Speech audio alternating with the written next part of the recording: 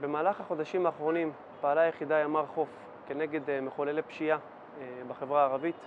מדובר על אה, בני אותה משפחה, תושבי הכפר ירכא, כאשר במסגרת החקירה שהתחילה כחקירה סמויה שולבו אמצעים טכנולוגיים ייחודיים וכן אמצעים נוספים.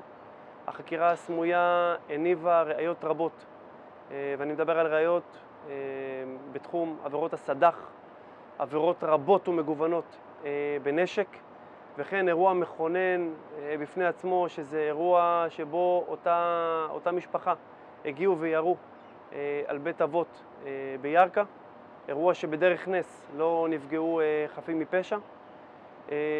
עם השלב למעבר והחקירה הגלויה גובשו כאמור כל הראיות, הוטחו הראיות בחשודים ולמעשה אחרי קרוב לשלושה שבועות של חקירה גלויה הוגשה הצהרת תובע כנגד אה, החשודים. משטרת ישראל תמשיך להשקיע את מירב המאמצים והמשאבים הקיימים אה, ברשותה על מנת למגר את אותן תופעות פשיעה קשות הן במגזר הערבי והן במגזר היהודי כאחד.